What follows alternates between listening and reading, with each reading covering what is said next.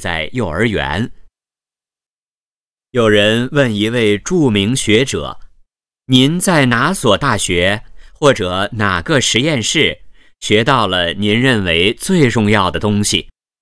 这位白发苍苍的学者回答说：“是在幼儿园。”在幼儿园学到了什么？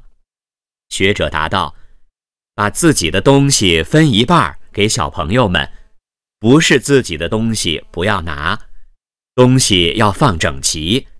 吃饭前要洗手，午饭后要休息。做错事情要表示歉意，要仔细观察周围的大自然。从根本上说，这些就是我学到的全部。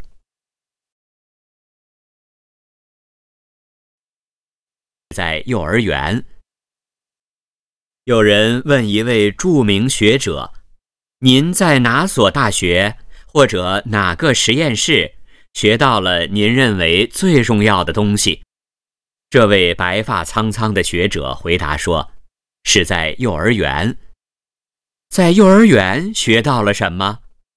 学者答道：“把自己的东西分一半给小朋友们，不是自己的东西不要拿。”东西要放整齐，吃饭前要洗手，午饭后要休息。做错事情要表示歉意，要仔细观察周围的大自然。从根本上说，这些就是我学到的全部。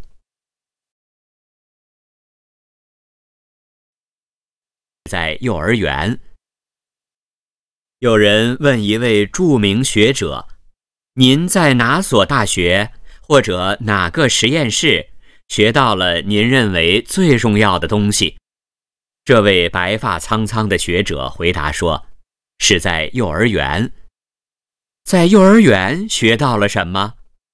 学者答道：“把自己的东西分一半给小朋友们，不是自己的东西不要拿，东西要放整齐。吃饭前要洗手。”午饭后要休息，做错事情要表示歉意，要仔细观察周围的大自然。从根本上说，这些就是我学到的全部。